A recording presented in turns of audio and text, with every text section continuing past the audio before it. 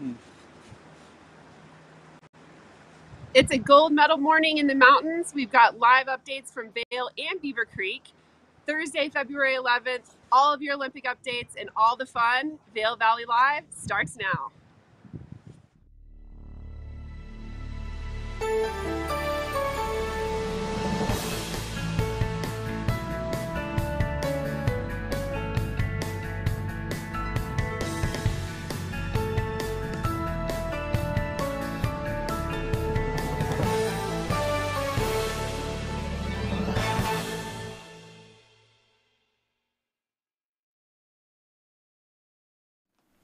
Good morning, everyone, and welcome to Vail Valley Live. I'm Trisha Swenson here in the studio. As you saw, we just have Sarah out uh, in Vail Village. We have Meredith over at Beaver Creek, and we're just kicking off the show bright and early this morning. We'll be with you for about an hour, and we'd love to hear what's on your mind. You can chat with us during the live show, which is 7:30 to about 8:30. Sometimes we go a little longer if we're having a lot of fun, but you can chat via our Facebook page or our brand new YouTube channel, and we are on Vail Valley Live on YouTube right now. So if you catch us during the live show, yeah, send us a chat. Let us know where you're watching from, what you want to know about Vail and Beaver Creek today. Consider us your concierge to the Vail Valley. You know, if you can't catch the whole show or if you want to just watch it later, you know, hit the snooze button, stay in bed for a little bit longer. It's been hard watching those Olympics and getting up early, I know, but you can do so. And then you can watch us on demand on Facebook and on YouTube, of course, but then on Roku, on Apple TV, Amazon Fire.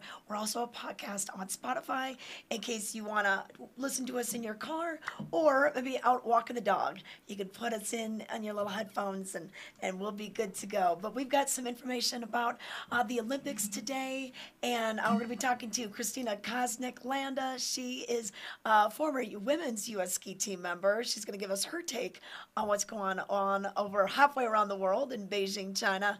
And uh, we're also going to be checking in with uh, Scott Bandoni, who's with Liv Sotheby's International Realty, about some of the things going on in the real estate market, the hot, hot market that's going on right now. But hey, let's give you a quick look at the weather. So we've got uh, just a little bit of new snow, just one inch new at both Vail and Beaver Creek, and uh, that's kind of that cloud cover that came through yesterday. Temperatures got into the 30s yesterday, pretty balmy it seemed like, and almost seems balmy right now. We're at 18 degrees for Vail, and it feels like 12, but uh, it's a lot better than the sub-zero temperatures we had last week. So today we'll see some decreasing clouds and highs right around the upper 30s mid 30s, upper 30s, dropping back down into the 20s. And then for your Friday, we'll see similar temperatures right around the mid 30s. And um, we could see just a chance of snow on your Friday, about a 30% chance of snow showers, mainly after 2 p.m. So just these little storms and open snow isn't calling for much, maybe an inch uh, for Vail and Beaver Creek. Over on Vail Mountain, we're opening things up at 8:30, and we've got 97% of the mountain open. We were just looking at the groomer report, and some of my favorites out there. Man, uh, you know they've been grooming Slifer Express a lot. This used to be called uh, es- Espresso. It was next to Cappuccino, and uh, I kind of like that one because a lot of people go to Swingsville. A lot of people go to Christmas swing, you know, a Slifer Express on a groomer day, kind of like your own little private run. So that's my little pick for the front side. And then on the back side, you know what? We've got the slot groomed for you in Sunup Bowl, and then Ricky's Tube when they groom this in Sundown Bowl, that's a fun one. And they've got that brand new lift that will be going from the base of Chair 5, which is the High Noon Express, and then the new Sundown lift will bring you up to Wildwood. So that'll be for next season. And also next season, Chair number 7, uh, which is Game Creek Bowl, that'll be moving from a four pack to a six person chair big exciting news and uh, that that's welcomed because it gets a little crowded down in game creek and there's no other way out. So uh, i'm happy they're going to be doing that. But hey let's take it out to our host today and find out a little bit more about what the weather feels like and what's going on. All right we'll start with meredith. She's over at the beautiful beaver creek resort. I love that shot. Oh yes, it's holidays 24/7 around here. it definitely is. But yeah, I would agree. It is balmy. It's not too bad. A week ago, we were in the negative, and I was bringing my heated gloves It's not exactly that kind of morning though. I I uh, dress properly though. If you dress properly, it's never that bad. Yeah. You know, you can be cold if you're not dressing properly. So I have like base layers on. I have overalls, and I always am so much warmer with like a neck gaiter like this. Yeah. I mean, I grew up getting shoved on these shoved over my head, but they do keep you warmer with keeping the neck and the head warm. And you know, I'm looking at the fireplace. There's a lot of fireplaces around the village that you can warm up with. But it looks like it's going to be a beautiful day. I see some blue skies, which is refreshing after yesterday with the full cloud coverage, gray day. And I'm just going to be exploring the village, just showing the viewers some of my favorite spots. Okay, perfect. Hey, have you been watching the Olympics at all, Meredith? Absolutely. Oh my gosh. I've really been loving the skiing, of course. Yeah. It's inspiring my skiing. I mean, I was watching the Olympics and then I think I've skied like my my best day in my life yesterday well, I know or that 2 days ago. Aren't you practicing for the Talons Challenge in just like I 2 am. weeks? Okay. Yeah, yes, yeah, in 2 yeah. weeks. So a little bit later I'll try to find a map and kind of point out what are the runs that are on Talons Challenge and I've gotten different advice from people and now I'm experiencing it. So I'm excited to kind of share my journey with it. And I will say, after training two days ago on Beaver Creek, I think it's going to happen. I think I'm going to be able to do it. So Okay. I'm going in confidence.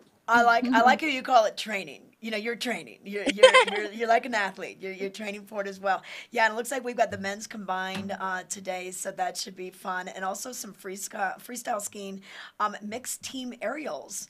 Uh, from the Genting Snow Park, so this should be fun to watch. It's it's and it's hard to keep track of everything because they're they're 15 hours ahead of us, and you know sometimes you gotta like when the slalom was going on, you're watching the first run on like Tuesday and then it's Wednesday at 12:45 a.m. for the next one. So it's yeah, it's been I, I would I've been really confused on what day it is. I keep on thinking uh, it's Friday and it's still Thursday because I'm I'm watching all these Olympic games. But all right, so we'll we'll let you roam Lily, it's around. been so exciting. Yeah, yeah, Beaver Creek and Lindsay Jacobellis is doing well, winning the gold. Um, ice skating, so exciting. So, all right, let's check in with Sarah. She's standing by the International Bridge. And Sarah, right behind you, we've got that big TV. We're going to be checking out some of the Olympic action right outside. That's right, Trisha. They've got the Jumbotron right behind me on the International Bridge, right along Gore Creek. Really fun way to cheer on your favorite athletes every afternoon. So this Jumbotron will come alive and a fun party atmosphere to cheer for your favorite team. As you mentioned, some some medal contenders. The Americans did really well yesterday. Lindsay Jacobellis had an awesome run. That was so exciting. She's been in the Olympics four times. Amazing to see her back. So successful this year. And of course, Chloe Kim, absolutely unmatched in the half pipe yesterday. So it's so exciting. I agree, Trisha. It's tough to be able to turn it off and go to sleep in time to come in and do the show because it's just so exciting to see these people and the training that's involved and the years of hard work to see it pay off is just fantastic. Yeah, yeah, and it's neat to see some of the other, you know, like I was just mentioning Paula Moltzan uh, the other day. You know, in the world rankings, she was was pretty high up there, and to get such a wonderful finish, you know, uh, throughout the, the a couple of events, you know, and the women are going towards the. Um, they're going towards the speed events now, and the men are going towards the technical events. So uh, it'll be neat to watch that be mixed up as well. So yeah, Team USA all the way, keep it safe. And on Saturday, they're going to be doing that kind of Olympic celebration, and River Radamus will be racing that night, uh, kind of around 7 p.m. or so. So they're going to hope that uh, people gather. They're going to have people uh, serving up food and drinks that you can purchase and it'll be a little party atmosphere right behind you. So that should be cool and a good way to honor, you know, someone that really grew up here and grew up in Edwards and went to the uh, Skiing Snowboard Club Vail. He was telling me during an interview when he was here for the World Cup in December that um, school would get out. And Beaver Creek would stay open until about four o'clock, and he and his mom would, would race up to Beaver Creek just to do a couple runs, a couple laps after school. I mean, that's true, true love of the sport there. It really is. And so many local athletes, Colorado athletes. I read a few days ago that Colorado has more athletes in the Olympics than most countries, than Oh, half wow. of the countries. So Centennial State well represented, and it's so nice that the local, like you said, with you know ski school represented, so many folks here to get our attention. And really fun thing, we've got the watch parties as you mentioned, and you can actually sign these to cheer on your favorites. And we've got some messages from all the way from Argentina to just here in Vail. So make sure you bring your Sharpie and write a note to everyone you're cheering for over in Beijing. Oh, that's cool. Yeah, so they've got those little signs up there. All right, that's awesome. That they've got the one going on. So that's over at the International Bridge, kind of between Solaris Ice Rink and making your way towards the slopes uh, near the uh, Checkpoint Charlie and and the lodge. Uh, is it busy down there yet? Anyone you see anyone? It's just starting to pick up. We have a few folks heading up to the mountain. We've seen some patrollers. We actually saw Henry, the original avalanche dog, oh. heading to the mountain to start his day of work. So celebrity sighting already in the village, and things are just starting to open up. People are having a cup of coffee and heading up to the mountain. So I think it's going to liven up here in the next 20 minutes as we get toward opening, and we'll check out a few more things here in the village. Okay, perfect. Thanks, Sarah. I'll let you go get warm if you need to, although they are saying it's feeling a little balmy out there compared to last week. We are uh, well above zero, 18 degrees in Vail right now. We're going to take it to a break. When we come back, we'll have headlines and we'll give you details on the roads.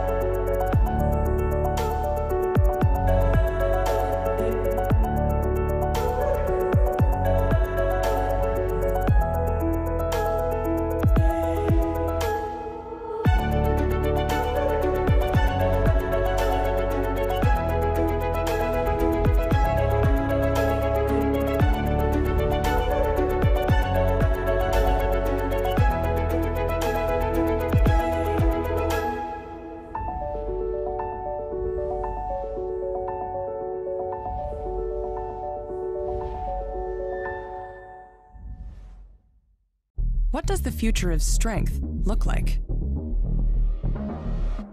It's a personal trainer that assesses your strength and adds weight as you progress. It's dynamic weight that adjusts for you in real time for a more efficient workout. Come on. And it's a roster of coaches that motivates you to get stronger, faster. The future is strength you can feel and results you can see. And you can only experience it on Tonal. Skiing is more dangerous than ever due to crowded slopes and people skiing faster than their abilities allow. Hi, this is Joseph Bloch, a ski injury attorney at Bloch and Chapleau. If another skier or snowboarder hits you from behind and injures you, you're entitled to monetary compensation. Remember, the downhill skier has the right of way. The uphill skier has a responsibility to avoid skiers below. If you've been injured, you need to call an attorney to protect your rights. It's important to preserve the evidence immediately.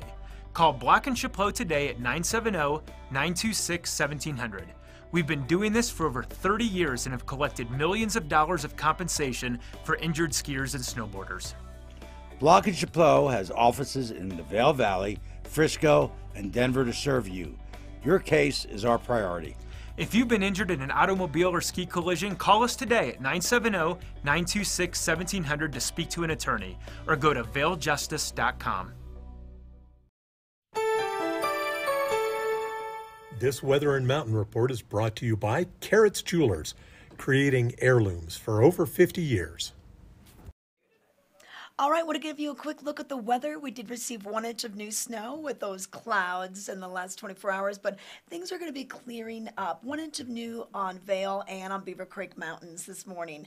We're going to see the highs into the 30s today. Right now, we're in the upper teens, and according to Sarah and uh, Meredith, they said it actually feels a little balmy compared to last week, but the real feel about 12 degrees. Our winds won't be too bad today. Um, just a little bit out of the northwest, five to 10 miles per hour, becoming west later on. And then tonight, mostly cloudy with a low in the teens and the 20s.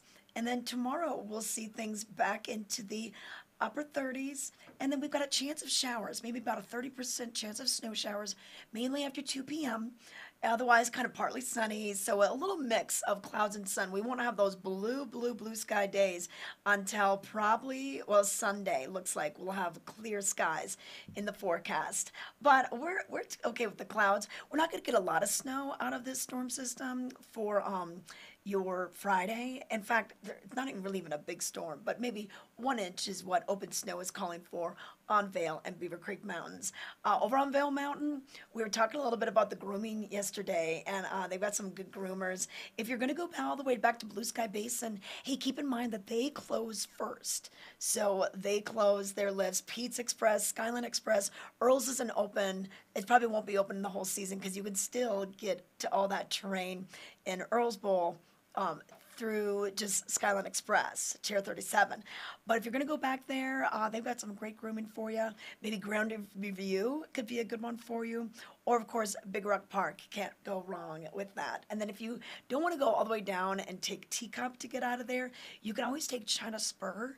And that's just kind of off to um, after Grand Review you, you look for the sign for China Spur, and that'll take you to uh, the China Bowl Lift 21, and that'll get you out towards Two Elk. So, just a couple of things, especially when weekend crowds come up, it can get a little busy down at the base of Teacup Bowl. Over at Beaver Creek, Meredith was saying that she's been practicing for the Talons Challenge coming up. We've got almost all the lifts open, 24 out of 25 lifts, and uh, over there, we don't have the grooming report for Beaver Creek because because you know what? We just, they don't update it in time before we start our show. So I'm going to see if it's updated yet. So let me look here. Usually they do it around 8 o'clock. Yeah, it's still yesterday's. But um, when we get that, I'll let you know what's been groomed.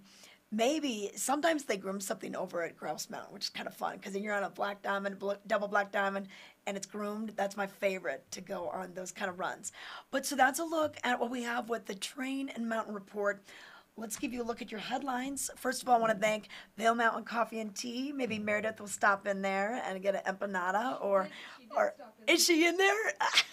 she's already got it. Okay, she's already got it. We'll come back to you. We'll see what you ordered. Look at, she's gonna fall asleep on that couch over there. Okay, so for today, Thursday, the 10th of February, uh, we're looking at a moose party on the cover. Check this out.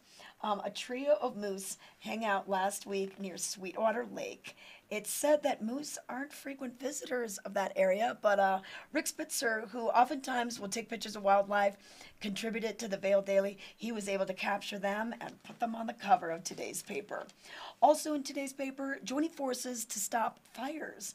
Local fire departments knowing flames don't care about district boundaries, team up to do mitigation and public education work. More on this on page A2. Also in today's paper, council members talk Vail's relationship with Vail Resorts.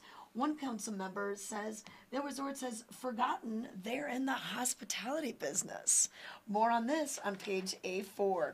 And we've got a lot of Olympic coverage in today's paper as well local Sarah Schleper. She's given us a bird's eye view. She's sending postcards from Beijing, some messages for home from the local athletes competing in the 2022 games. So she contributed this whole section. So check this out. And uh, you can see Sarah there on the cover. Um, she is skiing for Mexico. Um, she married a man who actually grew up here but is a Mexican citizen. And she's been going uh, to the Olympics for Team Mexico for the last couple of Olympics. So kind of cool to see her during the opening ceremonies. Also, T- Steamboat's Taylor Gold, he's advancing to the half pipe finals. Uh, he was a, staple here during the Burton U.S. Open. Real fun to see him doing so well. And then Lindsay Jacobellis, she earns the first U.S. gold for snowboarding at the Olympics. So great to see her. Uh, you know, still in the Olympics. She's been to several. So still great to see her still in the sport and and healthy. And then the Olympic Minute. Uh, sends Nina O'Brien warm wishes. Of course, Nina had that horrific, horrific crash earlier this week.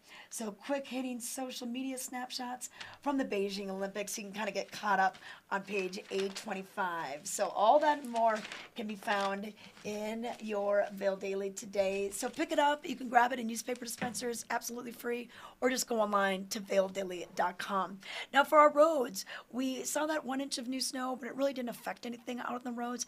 But one thing to be concerned about is the ice. And now we're really into that freeze thaw cycle. So even on some of the side streets, the parking lots, I've been noticing by the afternoon, you get out of your car, wow, you take that first step, be careful because it is very icy and we want to make sure uh, you, you don't slip, you don't fall. So that's just a little ice report, a safety report for you. But uh, here's a look at the roads. Looks like people are making their morning commute into the area. Tomorrow we'll see the traffic start to increase going eastbound from Denver up to here with all the holiday traffic. And then on Saturday, I can't tell you enough, you got to leave early if you're leaving the Denver area to get up here and not uh, get caught in some of that traffic. But hey, let's switch gears and let's talk Olympics. We have Kristina Koznick Landa, Kaz, as we like to call her, on the line. Let's bring her in, and she's going to give us her perspective on the Winter Olympic Games in Beijing. So exciting to have her with us. And uh, do we got her? One second. Okay, one second. Emma's punching some buttons back here. But um, okay, it's- we got her. Hey, Cos. Hi. Good to see you again. I haven't seen you a long time. Good to see you too. All I don't have as pretty of a background as you have though. I got to work on that. I know, I know. That's okay. That's okay. But we're happy to have you with us this morning. Um, you know, it's been hard to get up early because we're watching the Olympics so late into the night. it's, Right. it's like, whoa, what, what day is it? And everything. But um, first of all, let's give people a little bit of background uh, on you and, um, you know, the years that you were on uh, the U.S. women's alpine team.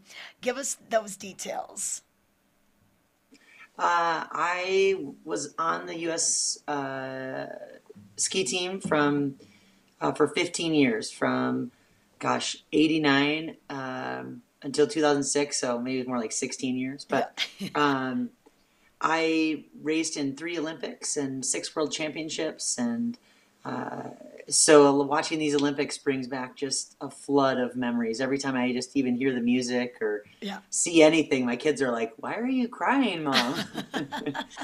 Oh, I bet. You know, because it is it is just Mm-hmm. such a big deal and an, an emotional deal, and um, you know, it's it's fun that we can um, just see our our friends and neighbors practically out there. And I was mentioning that I, I love the Winter Games because it seems like we're so close to it with when we host the Birds of Prey for the men with the downhill and the giant slalom and Super G, and then even the Burton U.S. Open brought so many of those athletes that we see now out there. So it's I think the Winter Olympics really touch our hearts here in the Vail Valley.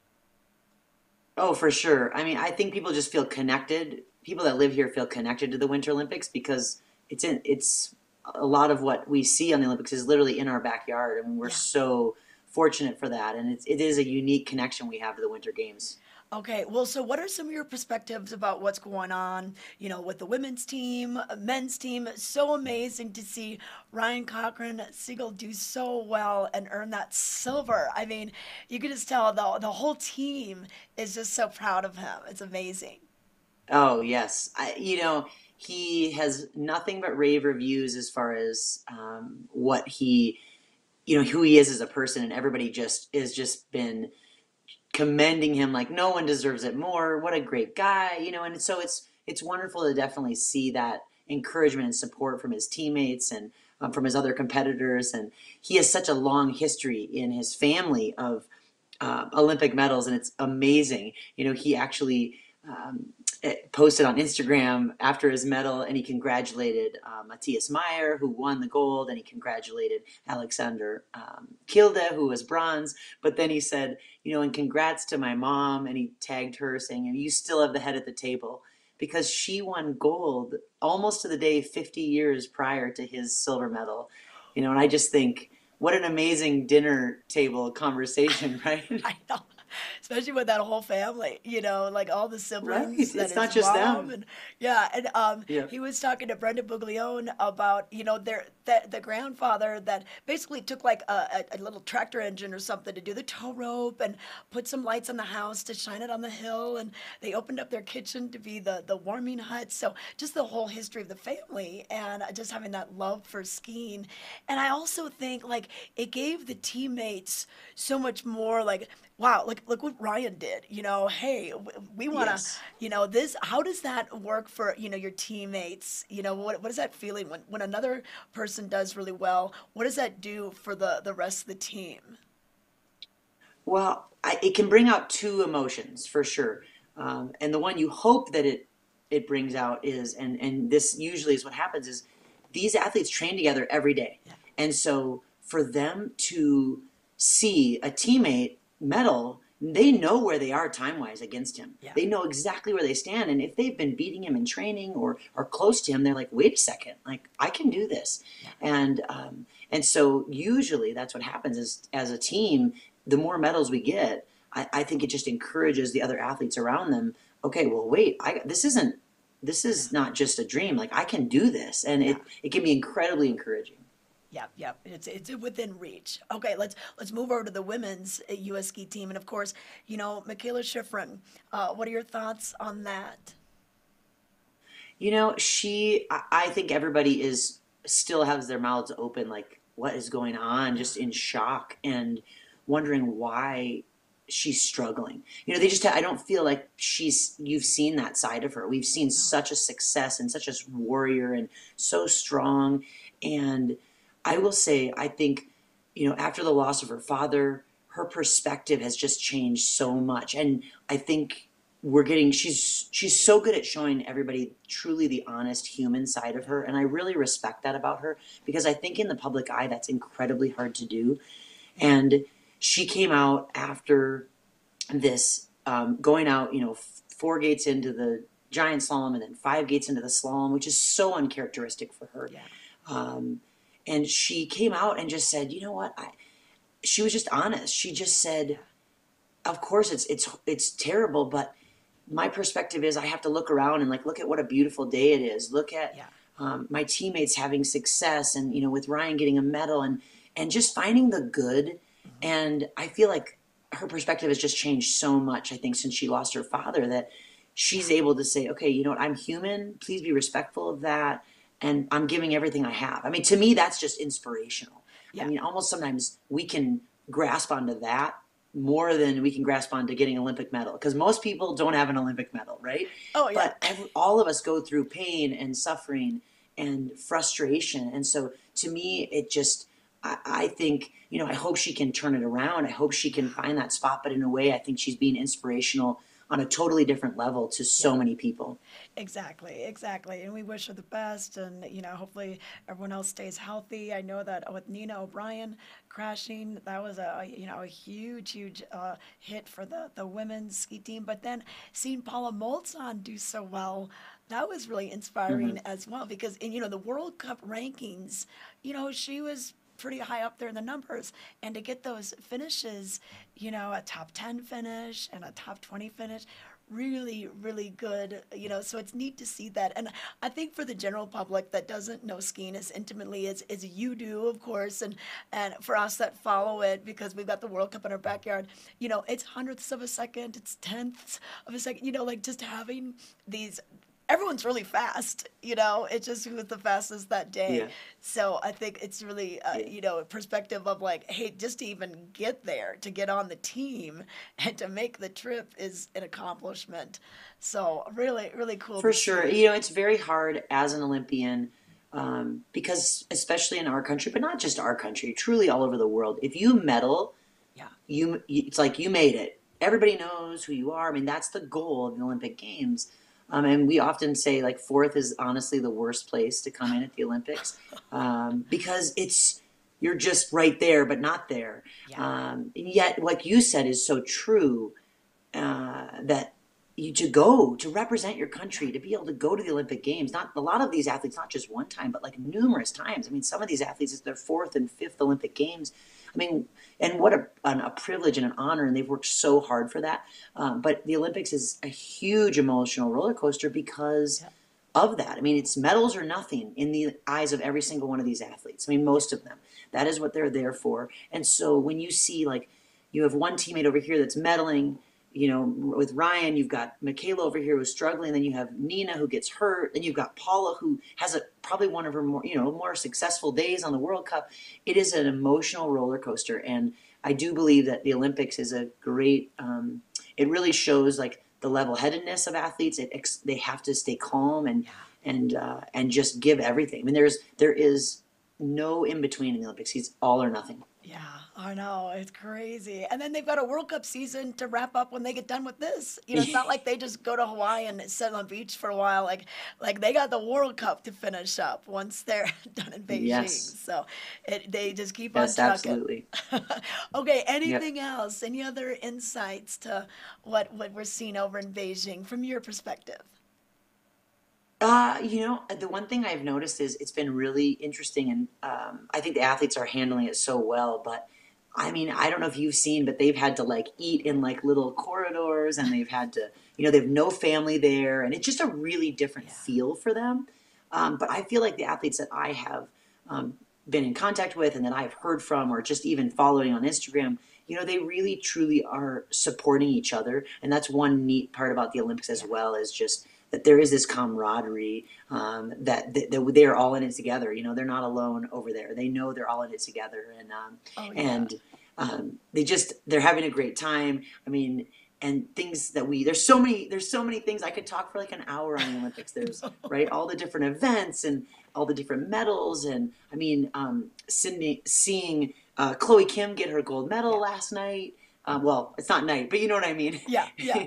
and Shaun White gets to compete now um, in the half pipe today. I mean, the, there's just so much success, and they're they're doing so well. And I just I hope that it'll continue to snowball and roll. Yeah. Um, you know, we've got the the women's speed are coming for this Alpine. The women's speed events are coming, and now the men's tech events are coming. Yeah. Um, so I'm just hoping that the the gold medals that'll just keep snowballing and and that we just get to see you know more awesome moments from Beijing because we none of us get to be there. You know? I know, I know. We're all just watching it from here. Okay, well, Kaz, hey, we'll let you go. You probably got to get the kids to school or something.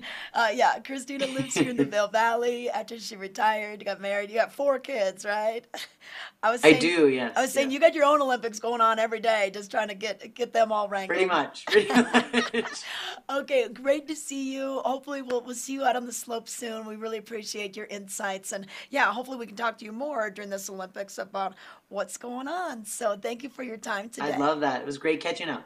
Okay, all right. Have a great day. All right, Kristina Koznick Landa, former U.S. women's ski team member, been to three Olympics, giving her insights on the Olympic Games. All right, Emma, wh- uh, what are we doing? Okay, we're gonna take a break. We'll come back with more from Vail Village and more from Lions or from Beaver Creek. In the extraordinary, we're free to discover more together. Experience it for yourself this winter. Get your lift tickets today.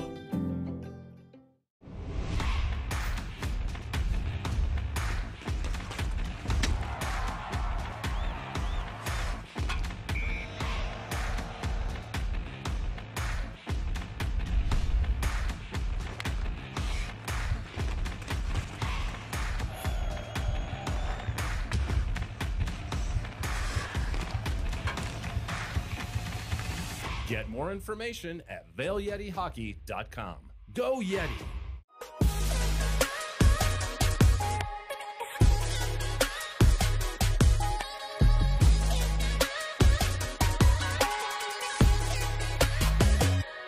Vail Valley Live outerwear provided by Skea Limited.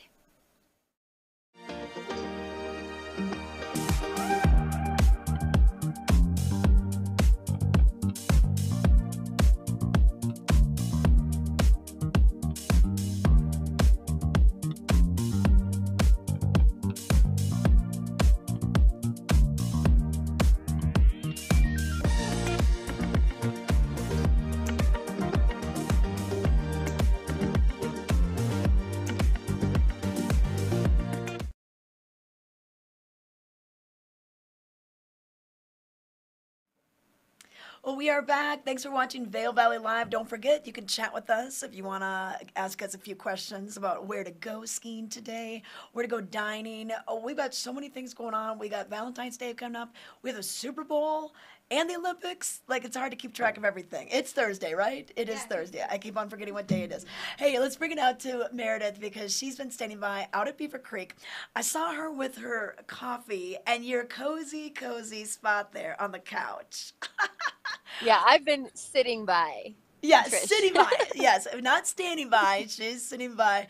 All right, that's what I love about Beaver Creek is that they've got the fire pits, the big, big, lush, comfy couches.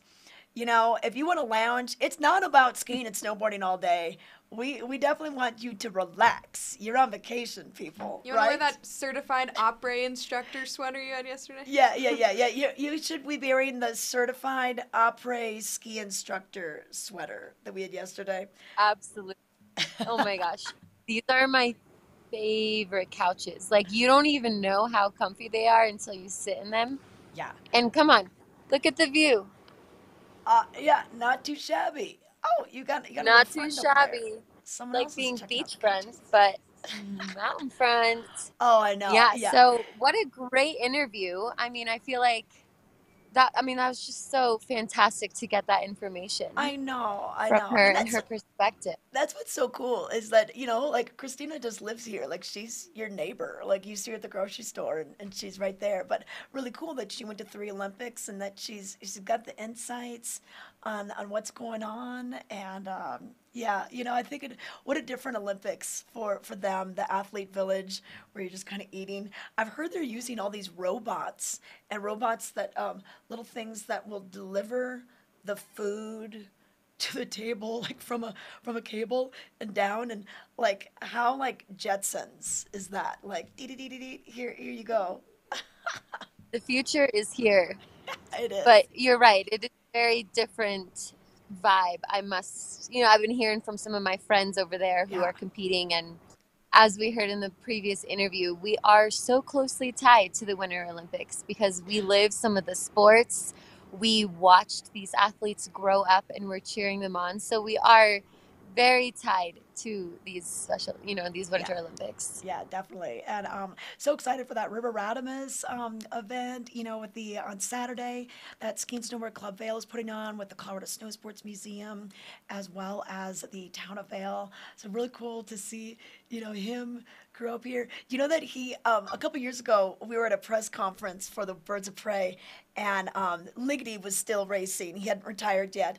And there it was, uh, NBC had gone to Rivers' house in Edwards. And on his wall, like to this day, he still has the Ted Ligety posters up. So he's on the team with Ted, and he's like, "Yeah, I've got your poster on my wall." I mean, like it's just it's such a neat thing, and just a cool passing of the torch. And I've been loving listening to Ted give the the commentary, Lindsay giving the commentary. So um, Exactly. Just yeah, I love it. I love it. I just a I, natural. She's a natural on TV. yeah, yeah, they they both are, and I, I love that perspective. So really cool. But hey, um, now you're looking pretty relaxed now. I hope you're like resting up the quads because you got the Talons Challenge coming up, right? That's right. I will say, I'm not gonna lie, I'm a little sore because it's steep. If you're training, you're you're skiing black and double black diamonds, and if you ski the entire Talons Challenge, it's 26,260 feet. So it's it's a lot of vertical feet that you're skiing. So I am pacing myself because, you know, as I've shared previously, I'm recovering from an ACL tear. So I'm about at a year. Um, so it typically takes about nine months until you're back at your level. So I'm easing into it, and I started. So basically, the town challenge. If you if the viewers aren't familiar, it's in Beaver Creek, and it's going to be skiing on lifts Larkspur Lift, Grouse Mountain, and Birds of Prey. Yep, perfect. This is a Yep, great map. There we go. Um, it's a little bit small if you can't zoom in, but if you look, um, so the far right, that's Larkspur Bowl, Yes. and that is uh, 10,370 feet. So you can see those three black diamonds right there. And I actually started with those, a little bit warm up. I did Lupine, Shooting Star, and Loco. Skied straight down. And then I went over, and the far left is the Birds of Prey lift. And that's where um, most of those are going to be double black. So that was Goshawk, Yeah, Peregrine, Gold, Goshawk. Yeah, I actually pronounce that wrong sometimes. Um, and then Peregrine at the top, it's still not fully open because Oh, it's okay. still it's still got low coverage right at the top.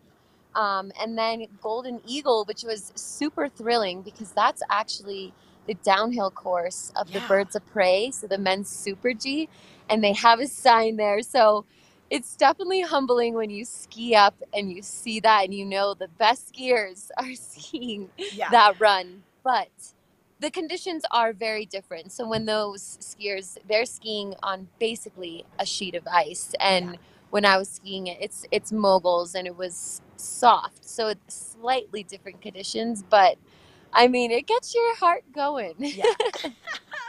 I know, and and you know what? It, it you know they inject the course with water, so even though we've had snowfall since the Birds of Prey in early December, like, oh, there's a couple of glimpses of like how steep and like how crazy of a surface that could be from the races. Yeah, Absolutely. I mean, That's you drop in and it was a sheet of ice when you drop in and your edges don't grab onto it that easily. So I kind of just slid right in and it's steep and then a mogul kind of like stops and you just got to keep the momentum and keep skiing down. So I mean, it was a great day and then we just lapped uh, Centennial and that was a groomer and the groomers felt so fast after you're skiing moguls all day. I know. Well, I, I But kind of hope that. yeah, I think with the lunch break, I think with the lunch break and then doing grouse, I'm gonna be fine. But you're gonna be tired at the end of the day. I, I can predict it. Yeah, you'll earn that beer that you're gonna get at uh, you know at the little at the celebration party, and you know it, it's good for people to pace themselves. And I'm glad you're actually practicing now, because if you just come straight off the couch and think you're gonna do uh, the challenge challenge, uh, you're gonna be in the hurt locker for sure the next day, and maybe a couple days. You might get an injury. Like you you want to be preparing for this. So all right, so I want to keep hearing more about the training regimen. That, that's good. I'm glad you're. Absolutely. I'll keep you updated and if I if I, you know, do the actual challenge, it'll be really exciting to share with our viewers. Um, you know, anyone can do it, but you got to train for it. And if you're not quite ready, Trisha and I, we've coined this new challenge, the McCoy Park Challenge. Yes, yes. We have 17 runs. We have 14 greens, three blues. Check that off the list. Go to the candy cabin if you get them all. You know, let's see Exactly. how. You know, how many hours does it take you to do those? Just lap McCoy Express. Bam, bam, bam. Yeah, do the McCoy Park Challenge. That's gonna be. You know, another challenge that people do at Beaver Creek is um, they try to ride every single lift. What do we have? Like 24 out of 25 lifts. Elkhorn in there. Mhm. So I had some friends that used to try to do that. You know, over at Vail, Vail's just too big. You can't really do it all in a day. But Impossible. riding all the lifts at Beaver Creek all in one day, that's another kind of I an like that. unsanctioned challenge. Yeah, yeah, you got to try that sometime Yeah. too. I think that's fantastic. And quickly before we go, just because I am looking at the view, what many people here in Beaver Creek are going to be looking tonight, Thursday Oh, night lights. yeah. So we're going to be seeing the fireworks, and we're going to be ski- seeing um, the special ski down, and they use glow sticks, and you can actually do it. You can participate. They do encourage only, you know, about level five skiing and above because you are skiing at night but it's such a fantastic event that Beaver Creek throws. I say they're overachievers for having weekly fireworks, but hey, who doesn't love some fireworks? Oh, I know. Hey, you know what? If you wanted to get more vertical in your epic mix that day, let's say that your buddy's over at Vail and you're like, oh, I'm gonna go Beaver Creek. If you go on that lift and you you'll get more vertical that day. That's like There a little like that's the way you edge out, edge out the other person. You're like, oh really? Uh, I got some vertical at like 6 p.m. we don't have night skiing. It's the closest thing we have to night skiing. Okay, Emma's telling me to wrap up. We're gonna wrap it up. Uh, we will be going to a commercial break. We'll have some weather details. We'll check in with Vail when we return. Treat your dog to delicious, nutritious dog food. Specialty items and high quality gear for dogs who love to get outside and play. Do it yourself dog washing and grooming services now available. Mountain Canine, the dog friendliest shop in the Vail Valley.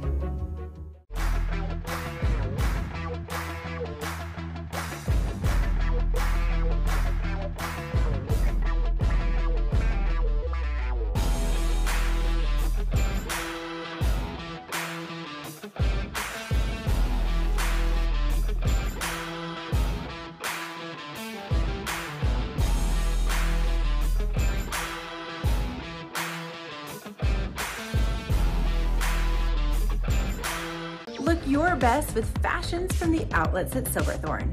Mountains of brands to suit your style with savings up to 70% off every day. Don't forget to pick up a VIP savings card from the Colorado Welcome Center for even more discounts. Become an Elite Rewards member and earn amazing gifts.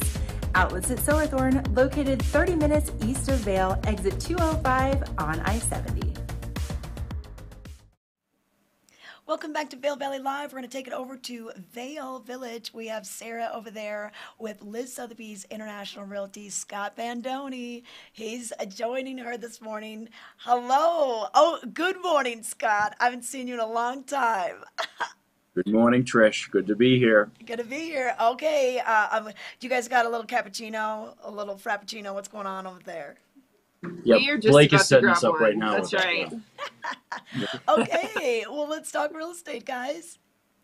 That's right. So I've got Scott here with LIV Sotheby's. Thank you so much for joining us. Tell us, there's been so much chatter, so much discussion about the hot real estate market. Tell us what's going on here in the valley. Yeah, it's um, it's hot. It's a bit um, it's a bit wonky and it's a bit imbalanced, but um, everyone knows it at this juncture. Um, the things everyone's been reading about, um, I can tell you they're true, which is the the low supply and the high demand. Um, um, really, no one could have uh, predicted um, that there was going to be such a hold on listings right now. But you know, the pandemic push is real. Um, that hap- that happened to this town. So really, over the last 12, 18 months, I really, I think we've seen a lot of people just say, "I'm owning my house. I'm going to use it. I'm going to live in it. I've got a different mindset about where I can work, where I can play." So those people who own property here have said, I'm, I'm holding on to it. That's part of a seller's or owner's mindset and not selling. So we we're we're not going to see the big question is what's going to happen this year. That's the most number one question that most brokers get, including me. It's what's going to happen. Well, I don't have a crystal ball, but I have a good guess. And a lot of us are guessing that it's going to be a low inventory year. We typically see properties come online. The normal flow is you put your property on the market at the end of ski season because that's when you'll stop skiing. So that will happen, uh, but it's, I think it's going to happen in lesser numbers. So um, the the demand for those properties, I think, will remain imbalanced. You're going to find still favor to the seller, and that means buyers have to be really diligent and prepared and educated uh, in order to buy right this year. And that that's the key thing, really. I wouldn't discourage people from buying in this market. You just have to do it wisely, and to succeed in it, you really have to prepare. Um, you have to know what you're looking for, and that part of part of all that is um, is learning the market, learning the neighborhood in which you want to make a purchase. That's the short story. And you bring up such a good point with the shift with the last two years, people are working remote. A lot of kids are doing virtual school. So we had so many people shift from the cities that realized they could they could live and work here instead of just vacationing here once or two Yeah. once or twice a year. I, um, uh, like everybody else, I would read about it too, and then the next day my phone would ring, would ring, and I'm talking to clients and friends and prospective clients in those shoes, and they want to, they they're they're they're making full time use of their part time home, so uh, rather than just skiing, they've moved here to their Beaver Creek home or their Vail Valley home, and they're living in it for weeks or months at a time. So that changes, and then the people coming in have transitioned from the city Right. and brought their laptop and say, "I'm working out of Edwards." So it's real, and it has happened, and that's that's the backstory as to why things won't flow to the marketplace like they usually do. So with all those factors in mind, seeing that shift and with supply being so tight right now, what's your advice for the buyer and the seller? Um, uh, sellers have to be strategic. Um, you know, in a seller's market, you would, you know, you could might whimsically think, I could sell it for anything. I could sell it top dollar. I could sell it when I want and how I want. Well, you know, some of that is true, but you have to be still strategic and smart on the price because we we we you have to um, have a, a factor of value, and it's easy to appraise, right? There's so many. There have been a lot of transactions, so it's easy to appraise and look at each neighborhood and go, okay, it's worth X. Well, and the seller says, well, yeah, but it's it's seller's market. Okay, it's worth X. What's your speculative value? And there's another analysis there, meaning if you, if you if you want to top you know want top dollar and you want to get what the market will bear, well then you can do some numbers crunch and say, look, it's reasonable to think I can sell this for five percent over appraisal value, maybe ten percent. So you have to do that forecasting, and if you get too aggressive, it doesn't work. And we've seen that too. We've seen in the last couple of months some listings come out with with prices that are too aggressive. Well, that doesn't work. So there's a balance to find that takes research. And, and buying is similar in that the buyer has to be well versed in what they want. You can't just run around, you know, shooting a, a rifle around. If you if you if you snipe carefully and know what you want, then you know what you're willing to pay for what you want, and that will involve paying five percent over appraised value. Um, it would be foolish advice to say no, you'll get a deal on that. It's not going to happen. That won't happen until we find more inventory, until there's more competition for sellers. So it's it's okay to buy with a long-term goal. Like you're not going to sell it next year, just in case. If you want to buy something, hold on to it for you know four or five years. That's safe. Um, at least we think so. so that, that's the short story on on buying and selling wisdoms great advice and such a smart way to do your homework, take a target approach. And speaking of inventory, you have some exciting new inventory that's just hit the MLS last night. Um, yeah, it's um, it's not my personal inventory. My brokerage just came out with um, uh, the listing of um, a new building that's going up in Avon. Um, locals and maybe uh, drivers by have seen a hole in the ground uh, on Route 6 just to the east of Beaver Creek entrance. Um, that has been in the works for many years and it's now come to fruition. So just last night, the listing team put uh, 20 units up for sale at the new building called Front Gate Avon. Um, and LIV Sotheby's has a listing. The listing team is Matt Blake and John Michael Lyles. Um, and they uh, will be marketing of 84 units, 84 condominiums, 84, about 75 condominiums, about nine townhomes um, on that site um, um, starting today as it just came into the market and um, it's a fantastic product with two bedrooms that have dens and can facilitate people who want to work out of the house. It's a wonderful building. You can call me or Google it online to find more information for now.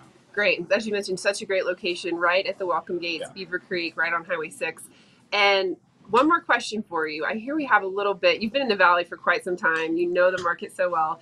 And I understand we have some interesting local trivia that you and Trisha might have named one of our favorite local restaurants. Does Trish like to tell everybody how long she's been around? Because she doesn't look it. stories. Yeah, I hear you giggling. Yeah, no, Trish older than older than she looks. Definitely. So the word on the streets is that you two may have come up with a name for again, one of our favorite happy hour spots, E Town. Is there some truth to this? I think we need the backstory so here. I I recall, and Trish might remember, but Trish and I did uh, a TV8 interview uh, from uh, the Riverwalk Village years ago, must have been 15, 16 years ago. Yeah. And in that interview, I think this is how I remember it, Trish, and you can correct me if I'm wrong. You probably don't remember a damn thing, but you you we referred to where we were standing, and one of us said Edwards, and then the other one said, "Yeah, here we are in E Town." Yes, yes, I know. Well, you, you know what? Right? I mean, you know me, Scott. I give I give nicknames to everything. You know, I I I have acronyms for anything. And before there was an E Town, we'd be like, "Hey, well, you gonna come down?" Even if you're just going to the brewery, like, "Hey, well, come on down to E Town and we'll go to the brewery." I mean, so we did, and then I don't know if you remember. Yeah, this, we Scott. were standing next to the brewery. Actually, yes, we were standing right there. But so, um, do you remember what we would call, you know, Homestead? So where the brewery was, and now yep. it's going to be changing hands. Same conversation. Okay, that was Low and then yep. where the Homestead Court Club is, that's that was Mid Ho, and then above Mi-ho. that was High Ho. And if you lived way up on Gold Dust Drive, that was Heidi Heidi Ho. Do you remember that when we would name our neighborhoods? That was the like, conversation. That's what we were doing. and we and we got there was a lot of recognition for that. And what happened about two three days later, um, Brad Dippy, one of the partners at E Town at that time, Yes. he called me up a few days later. and Said, Scott, what did you refer to Edwards as the other day on TV8? And I'm like, you mean E Town? He's like, yeah, that's it. And that was the phone call.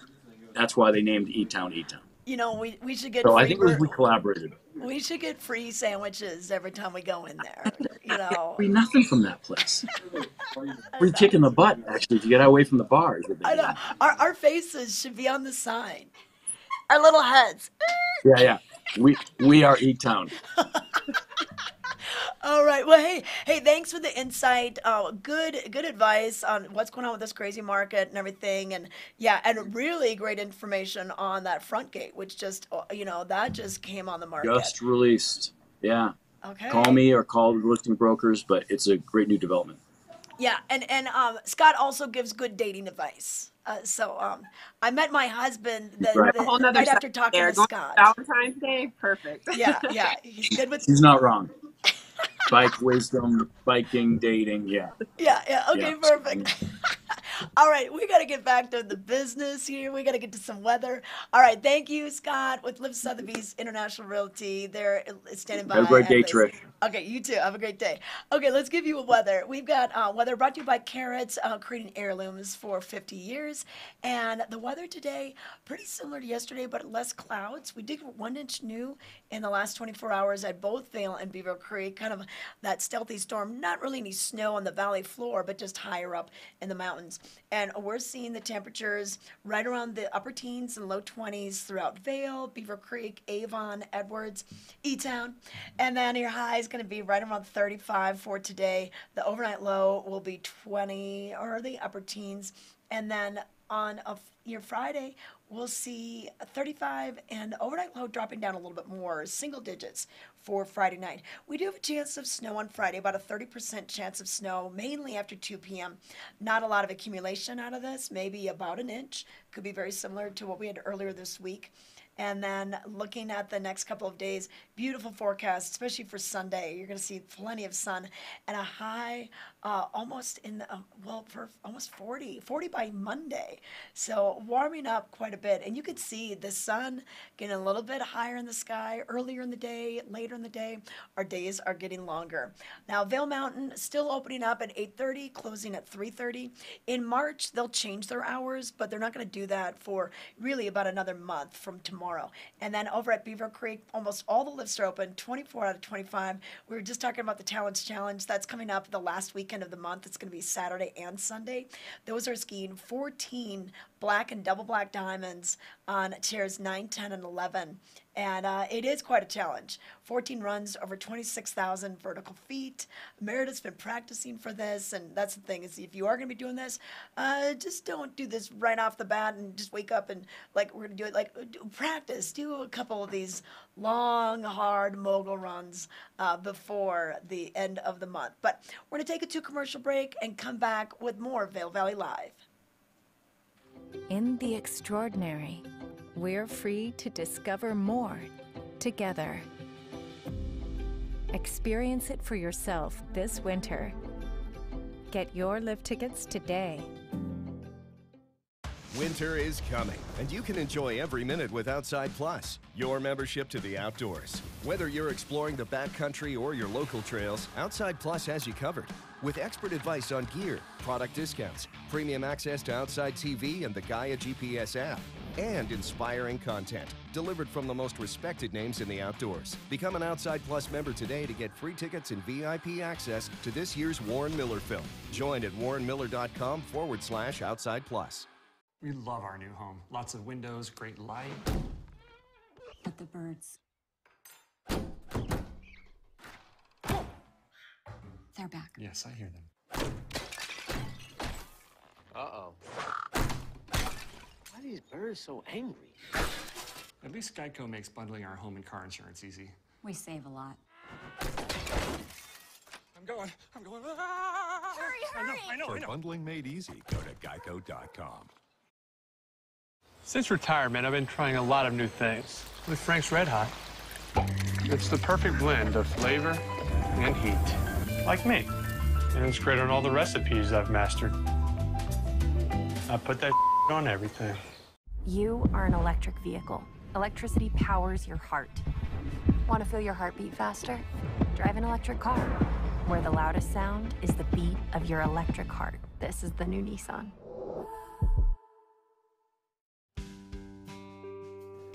Love is the theme all month at Nap Harvest, and they invite you to experience their love of food, flowers, and bees. Pick up a delicious dinner and dessert for your Valentine. Grab jewelry for a friend and bath salts for yourself, and show your love for the planet with fill and refill. Nap Harvest, your indoor farmers market, open seven days a week. Treat your dog to delicious, nutritious dog food. Specialty items and high quality gear for dogs who love to get outside and play. Do it yourself dog washing and grooming services now available. Mountain Canine, the dog friendliest shop in the Vail Valley. This weather and mountain report is brought to you by LIV Sotheby's International Realty, Colorado's leading real estate firm.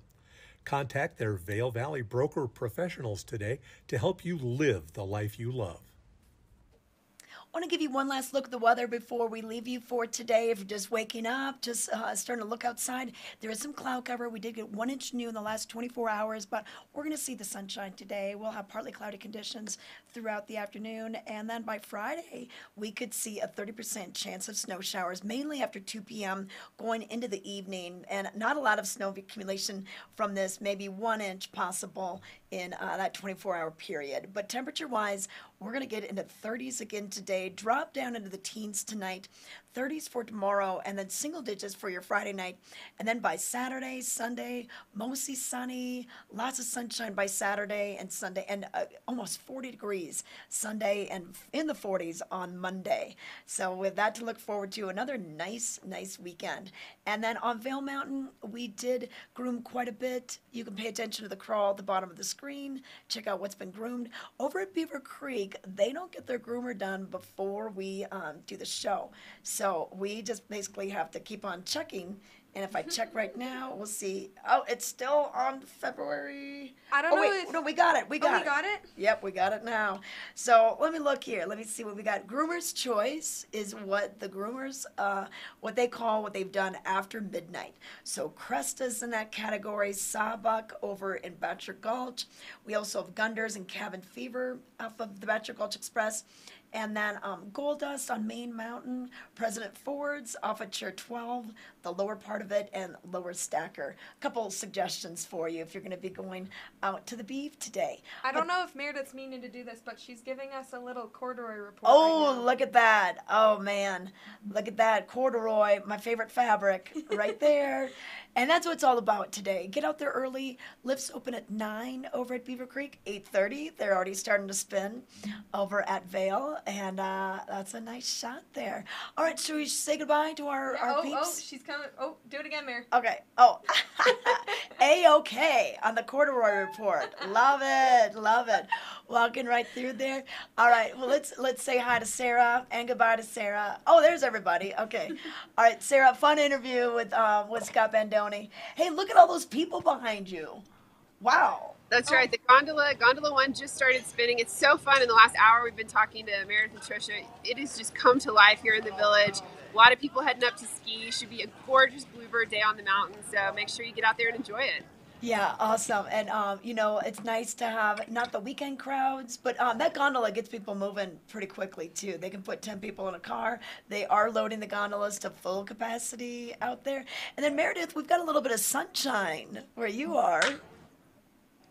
It is brightening up, warming up here at the base, and it's getting more lively by the minute. There are dogs running around, you know, the ski patrol dogs. Willie's just having the time of his life this morning. And, you know, actually, the biggest update that I'm looking at right now, we finally have the wood maze being built. So I'm actually kind of avoiding some of the the, the drills, but we finally have this back, which is normally always here, but I was surprised it hasn't been here yet. So they are making it right now. Making it permanent. Okay. Hey, we got a little chat. Uh, Ride Divide said, hey, it's been so cool to have so many local connections at the Olympics. Yeah, we- we're loving these local connections. And then Ken Hovey is uh, saying, oh, between Eagle and Gypsum, that's the nickname Egypt. Yes, that is right, It's Ken. it's all the Egypt. local names. Egypt, yeah. So if you want to know what some of the local names are, just ask us and, and we'll give you guys the scoop. Okay, well, thanks so much for your reporting this morning, ladies, showing us what's going on. Great to have you on the show today. And thanks you for watching us. Uh, we'll see you tomorrow.